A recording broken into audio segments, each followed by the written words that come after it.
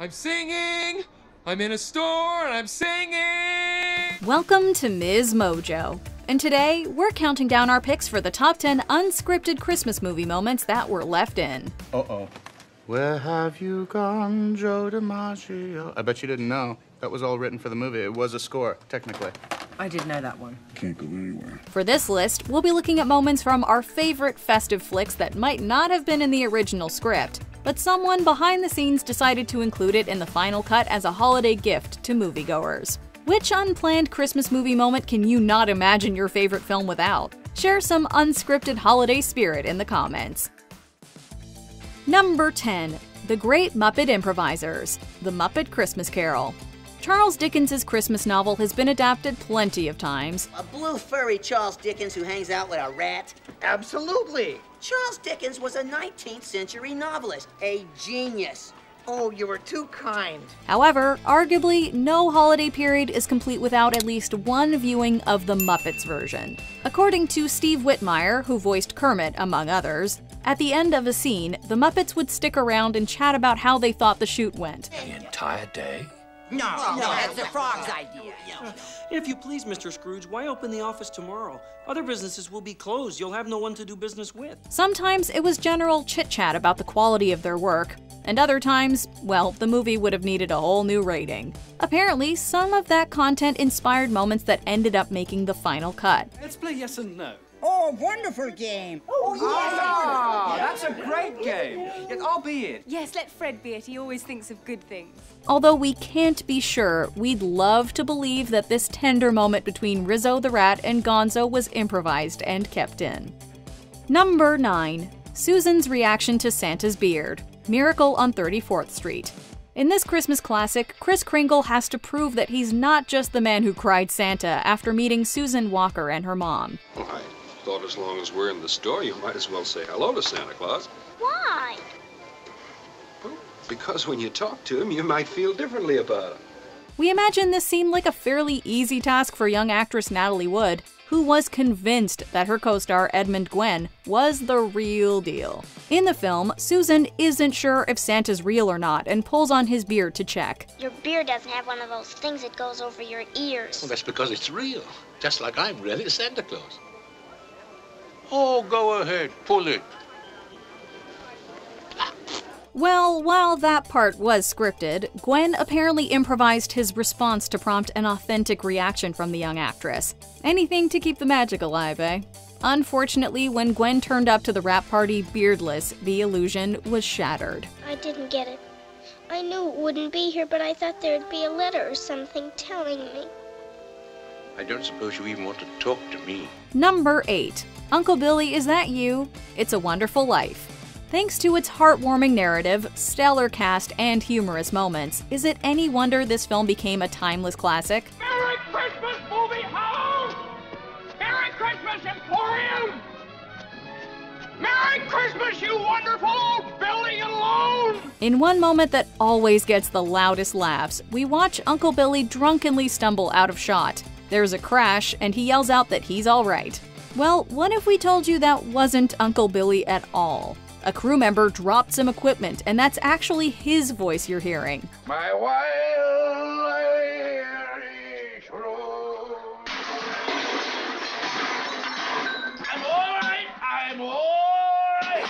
The timing was so perfect that writer, director, and producer Frank Capra decided to use it in the movie. Also, you know Miss Davis's shy smile after George kisses her at the bank? Supposedly, that's a genuine reaction to an unscripted smooch. All right, Miss Davis. Could I have 1750?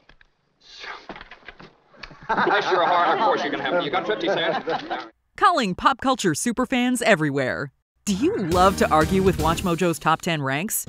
Introducing WatchMojo's first and very own party game. Bring your superpowers to the table and fight for your pick to be at the top of the list. It's all the fun of the comment section, but in real life. Number 7. The Dinner Scene A Christmas Story. Set in the 1940s and told through a series of vignettes, this dysfunctional family Christmas is one that many can relate to. A bona fide golly turkicana's freak. A few days before Christmas, his eyes would begin to gleam with a wild and ravenous light. But in one of its best and wildest scenes, the family head to a Chinese restaurant after losing the turkey to a pack of hungry dogs. At the restaurant, they're serenaded by the staff and presented with a whole roasted duck. Melinda Dillon, who played Mrs. Parker, lets out a yelp when she sees the bird before dissolving back into fits of giggles.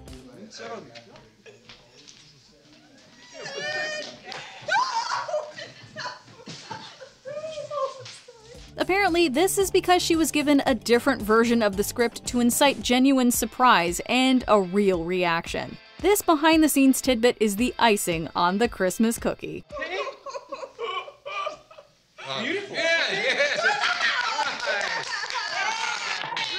That Christmas would live in our memories. Number 6 Sisters White Christmas. While the title song remains unrivaled, Sisters, performed by Betty and Judy Haynes, is pretty iconic too. I'm here to keep my eye on her, caring, sharing every little thing that we are wearing. Apparently, Bing Crosby and Danny Kaye also thought so when they decided to take a crack at it while killing time between takes. There were never such devoted sisters.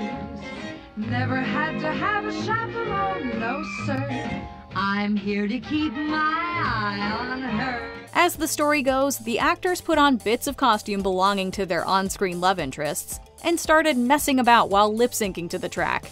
The director, Michael Curtiz, thought it was hilarious and worked it into the story. Lord help the mister who comes between me and my sister. Crosby also proved to be quite the proficient ad libber in other scenes, too.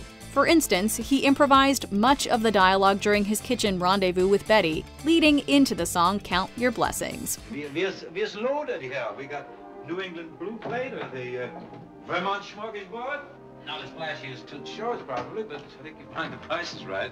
What do we have? Number 5 Emma Thompson's tearful moment Love Actually. In one of Love Actually's most heartbreaking scenes, we see Emma Thompson's Karen crying in her bedroom after uncovering her husband's unfaithfulness. According to the director, Richard Curtis, Thompson was instructed to, quote, let the emotion show, and she took it from there. And you leave them laughing when you go. The scene was shot 12 times, with Thompson's raw emotion pouring out with every take. No doubt she was drawing on her real life experiences. Somehow it's love's illusions that I recall. I really don't know love. Also, did you know that the airport footage was captured by cameras hidden around Heathrow's Terminal 3? When crew members caught a special moment, they approached individuals asking them to sign a waiver so they could potentially include it in the film. They were all messages of love. If you look for it, I've got a sneaky feeling you'll find that love actually is all around. We love actually how authentic those moments are. Number 4 Mr. Napkinhead The Holiday. Is it even Christmas time if you haven't yet watched this modern classic? You have to check this out sometime. The mission, the score is genius. It just comes from a totally different place. It's like, I can't even. Just promise me you'll rent it and listen to it. Renting. Thank you. It gave us countless iconic moments, some of which weren't in the original script. According to director Nancy Meyers, Jack Black's movie score breakdown in the video store was ad libbed. It's not elaborate. I can go loud. Mmm. But Two notes, and you've got a villain. I don't know what to say about it. Totally brill. Also, Dustin Hoffman's cameo was a last minute addition since he just happened to be nearby that day. Miffy Englefield, who played Graham's daughter Sophie, also shared that the Mr. Napkinhead scene was mostly ad libbed. Yeah, you pass me those glasses when I need Amanda, you're gonna love this. You're gonna help me put them It's so funny. I mean, you're you'll fall off your chair. It's so funny. Meyers wanted the interaction to be organic and told the girls to behave as they would naturally. It's so brilliant, we could fall off our chairs, it's so brilliant. Smoking's really bad for you. Yay! Number 3 Kevin's iconic scream Home Alone. When we say Home Alone, what's the first thing you do? If it's clasp your face and scream, this one's for you. I took a shower washing every body part with actual soap, including all my major crevices, including in between my toes and in my belly button, which I never did before but sort of enjoyed. In this scene, Kevin reacts dramatically to the sting of cologne and aftershave on his face. According to the director, Chris Columbus, Macaulay Culkin was instructed to move his hands away from his face and scream. However, during their first take, the young actor left his hands on his cheeks, which the crew found absolutely hysterical. Other than that, I'm in good shape.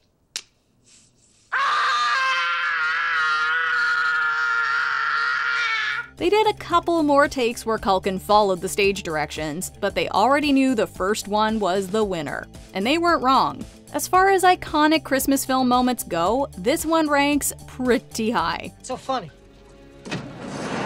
So funny. What are you laughing at?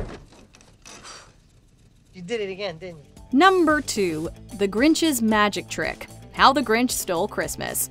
The Grinch spends a lot of time either chatting to himself or his dog Max, offering Jim Carrey a plethora of opportunities to riff on the spot. In one such hilarious instance, he examines his busy schedule for reasons to reject an invitation from Whoville, including this ad-libbed appointment. 6.30, dinner with me. I can't cancel that again. After a change of heart, he ponders what to wear and grabs a tablecloth. Of course, if I want the loathing to nine, I could still be done in time to lay in bed, stare at the ceiling, and slip slowly into madness.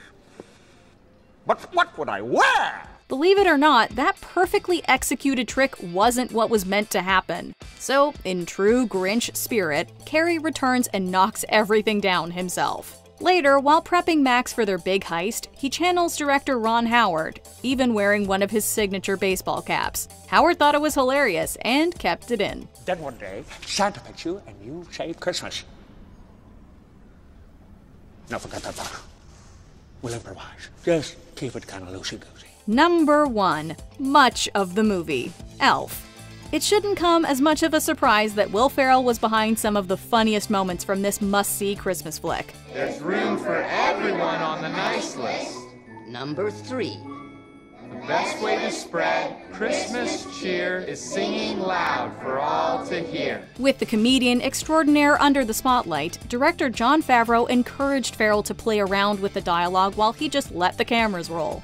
Some notable examples include the Jack in the Box reaction scene, Buddy's shenanigans around New York, and his improvised song lyrics. I'm singing, I'm in a store and I'm singing, I'm in a store and I'm singing. Hey! You'll also be happy to know that Ferrell is responsible for one of the movie's most quotable lines. Okay, people, tomorrow morning, 10 a.m., Santa's coming to town. Santa! Oh my god! Santa here? I know him. Ferrell truly commits with the utmost ecstatic childlike glee. No wonder Favreau cited it as one of his favorite moments. And if you ask us, you'd have to be a cotton-headed ninny muggins to disagree. Why don't you just say it? I'm the worst toy maker in the world. I'm a cotton-headed ninny muggins. Do you agree with our picks? Check out this other recent clip from Ms. Mojo. And be sure to subscribe and ring the bell to be notified about our latest videos.